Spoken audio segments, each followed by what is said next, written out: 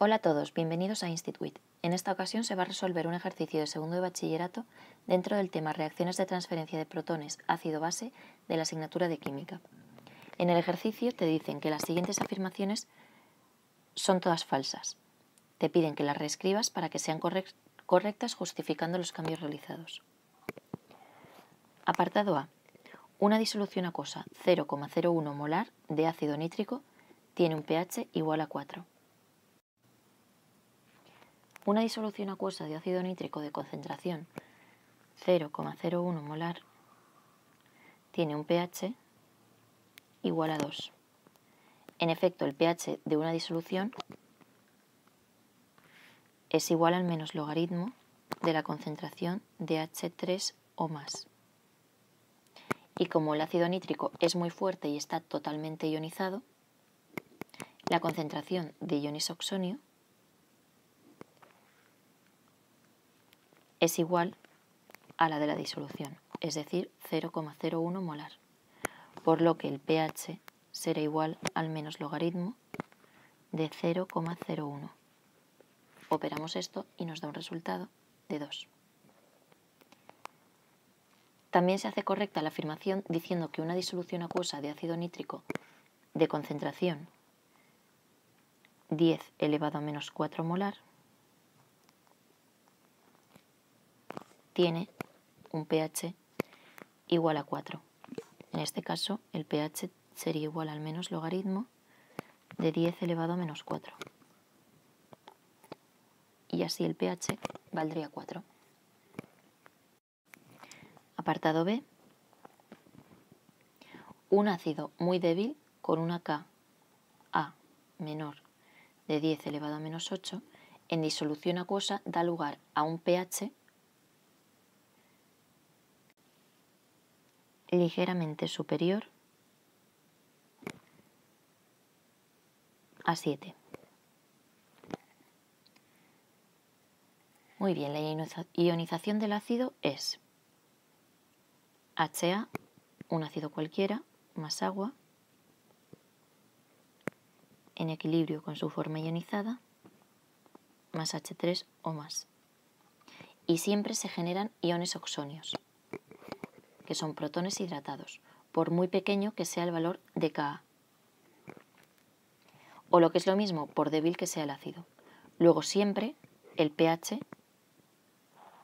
será menor que 7. Siendo la afirmación correcta, una disolución acuosa de un ácido, aunque sea muy débil, produce siempre un pH menor que 7. Apartado C. El valor de la constante de basicidad de la piridina, Kb igual a 1,6 por 10 elevado a menos 9, es cuatro veces el de la anilina, Kb igual a 4 por 10 elevado a menos 10. Y a igualdad de concentraciones, su grado de disociación es cuatro veces mayor. La ecuación de ionización de una base es la base más agua para dar su ácido conjugado más OH menos. Y siendo alfa el grado de disociación,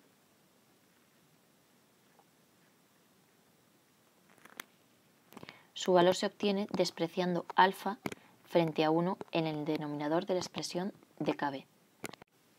Es decir, para el equilibrio, la base más agua para dar el ácido conjugado.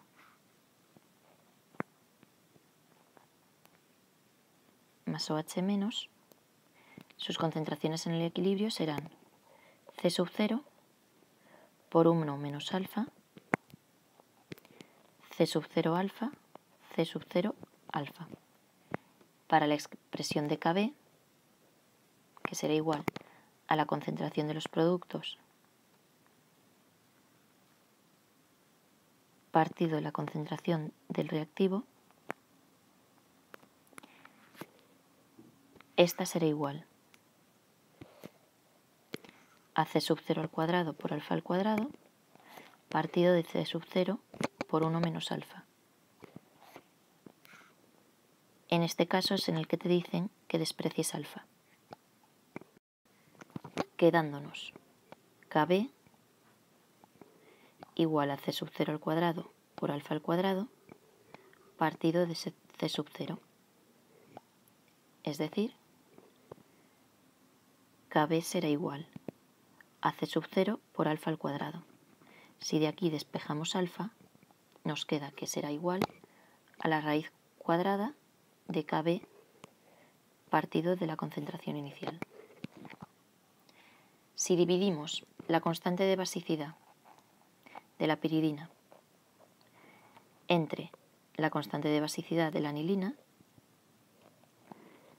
se comprueba que en efecto la constante de basicidad de la piridina es cuatro veces superior a la de la anilina. Y para una misma concentración, al dividir el grado de disociación de la piridina entre el de la anilina, alfa de la piridina partido de alfa de la anilina, esto será igual a la raíz cuadrada de 4 veces kb partido de c sub 0 partido de la raíz cuadrada de kb partido de c sub 0. Si simplificamos, esto nos quedará igual a la raíz cuadrada de 4, es decir, 2. Se comprueba alfa será el doble. Luego la afirmación correcta será que el valor de la constante de, basicidad de la piridina es cuatro veces mayor que el de la anilina. Y a igualdad de concentraciones, el grado de disociación de la piridina será el doble que el grado de disociación de la anilina. Último. Apartado D. Para aumentar una unidad el pH de una disolución acuosa de NaOH es necesario duplicar su concentración. El pH de una disolución acuosa de una base se obtiene despejándolo de la siguiente expresión. pH más pOH es igual a 14, por definición. Por tanto, el pH será igual a 14 menos el pOH. Es decir, el pH será igual a 14 más el logaritmo de la concentración de OH menos, ya que el pOH se define como el menos logaritmo de la concentración de OH menos, de donde se deduce que para que el pH de la disolución acuosa de una base aumente una unidad, ha de aumentar una unidad el logaritmo de la concentración de OH. Es decir, para que aumente una unidad el pH,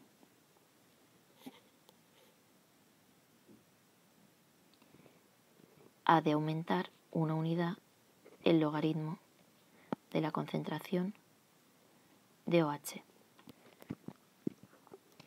Y ello se produce si la concentración de OH, se hace 10 veces mayor, ya que estamos aplicando el logaritmo. Por tanto, para aumentar una unidad el pH de una disolución acuosa de NaOH, hay que hacer 10 veces mayor la concentración de la disolución. Y con esto acabo el ejercicio. Ya sabes que si te ha parecido interesante puedes guardarlo y compartirlo en tu cuenta y crear tus apuntes. Muchas gracias y ya sabes que tienes más ejemplos en InstitutWit.